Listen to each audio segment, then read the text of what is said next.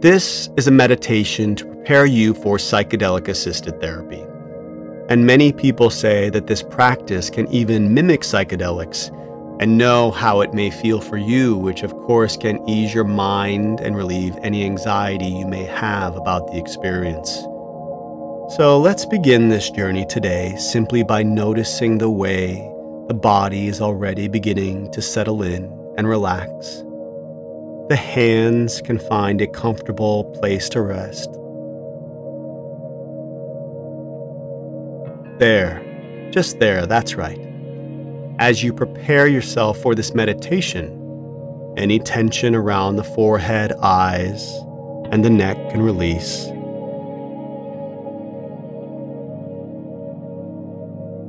And then, when you're ready to really let go, you can close the eyes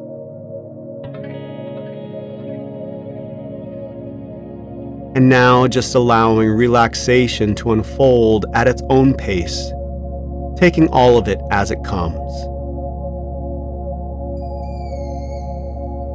You're listening to my voice, you're breathing in and out, and you're becoming more and more relaxed. The body feels cool, calm, and comfortable. The breath moves naturally and perhaps you notice a place in the mind or body where you already feel a bit of light trance.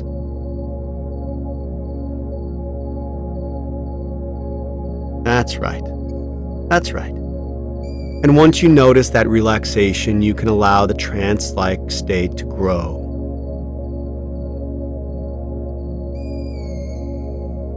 Isn't it interesting how altered states of consciousness can unfold in this natural way? After all, you've probably already experienced light forms of altered states when you go somewhere else in your mind, or meditate, or experience awe and connection when watching the sunrise, or have been mesmerized by music or flashing lights or drum circle or experience the floaty feeling that comes with laughing gas or anesthesia. And in this practice today, you may be reminded of one of those experiences.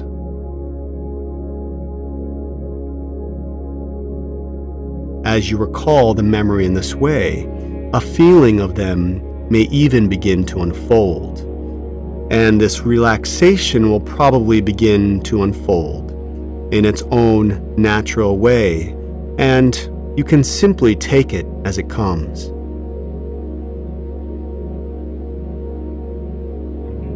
And I wonder if you can also cultivate a gentle, open, and curious attitude as you go deeper. Many people say this gentle curiosity helps them to have positive experiences with psychedelics. That open and curious attitude can help you through your journey, and if you see a door, you can walk through it. If you see a window, you can open it. If you see a staircase, you can climb it and experience any physical sensations or feelings. And if there is a moment of apprehension, you can easily move toward the experience instead of running away from it. And many people say that this experience is a metaphor for what is happening in their lives. Whatever you find in this journey, it can be easy to trust, relax, and let go.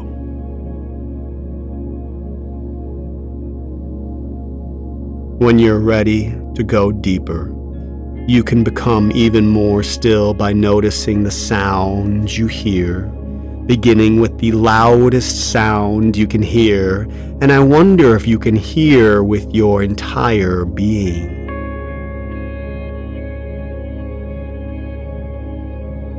Good. And now moving to a medium sound.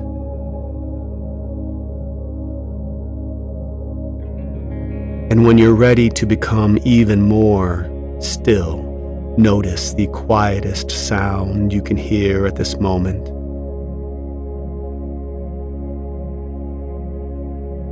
And now, moving to your sense of sight. Isn't it interesting that even with the eyes closed, there are so many colors on the back of the eyelids? Notice one in front of you.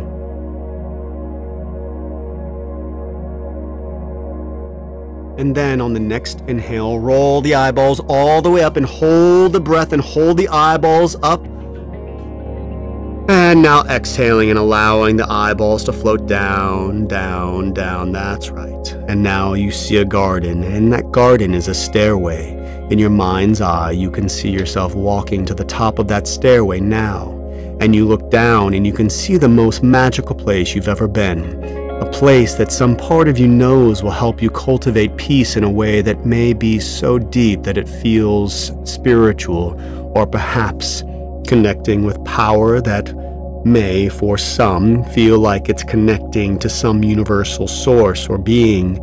Walking down this stairway now, stepping down the stairway with the right foot, stepping down with the left foot, feeling the body descend, hearing the foot making contact with the stair as you go even deeper now, deeper and deeper, more and more. And you can allow yourself to go into this dreamy state, a state that can feel like you're somewhere in between being awake and being asleep. And it can feel so relaxing, so calming. That's right and the body feels even more relaxed, and the mind too is calm. That's right. Good, that's right. Deeper and deeper, more and more. Trust, relax, let go. Trust, relax, let go.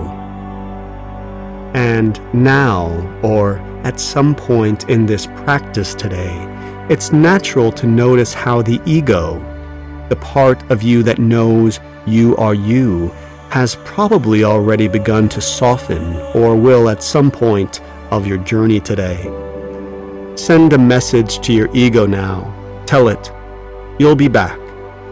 In psychedelic journeys, you may feel the ego trying to tightly grip as the medicine begins to work. The more you loosen the grip, the more peaceful journeys tend to be. If it feels like the ego is dying, tell it you're okay. You'll be back soon. Trust, relax, and let go. It can be helpful to mindfully become aware of the part of you. So, in your mind's eye, you see the part of you that knows you are you. The part of you that you refer to as I or me, your name, where you live, what you do, and also a sense of the body and space and time, how tall you are, your age relative to time, a sense of the body sitting here, which is typically experienced as being separate from others. And with this sense of self come thoughts and feelings, all the things you need to do. And in your mind's eye, you have a sense of this that you call I or me. And as I count up from one to seven, you can Imagine that all these things ego, body, space, and time turning into gold dust that's being blown away. One, two, three, four, five, six, seven. Now, I wonder if you can notice the immersion of pure being, of pure awareness. Many people say that this helps them to feel an experience of oneness in relation to an inner world within. Others feel like a fusion of your personal self into a larger whole. Others feel awe and connection, or perhaps even sacred. And if you have even a small sense of any of these feelings, then you already know what psychedelic medicine is likely to make you feel. Isn't that so nice to know? I'm not sure what this pure being will help you to do. Or are you feeling joy or peace? Or perhaps a feeling of peace and tranquility? In this pure awareness, you can simply enjoy this experience. Nothing to bother. Nothing to do. That's right. Many people say this gives them perspective once they emerge back into their waking life. Now, as I count backward from 5 to 1, you will be presented with some sort of insight. It may be something small, like, this feels nice. I really need more of this pure awareness to recharge in my life. For others, it can be a profound insight like the true roots of any struggles you're experiencing. For others, it can feel like a sense of universal love that is the antidote to your worldly experience. Five, four, three, two, one. You can hear and feel that insight, can't you? And now remember what you got from this journey today and lean into your next journey of a non ordinary state of consciousness with excitement, curiosity, openness for you. Come back to this garden of pure awareness often whether it's with this track or with psychedelic assisted therapy.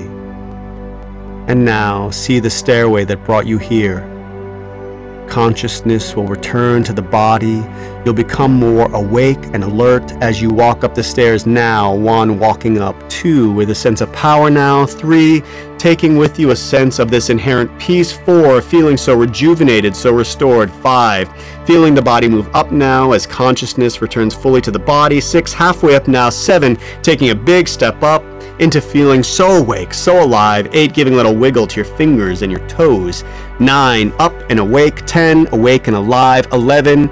So reinvigorated. 12. Eyes open, awake, alive.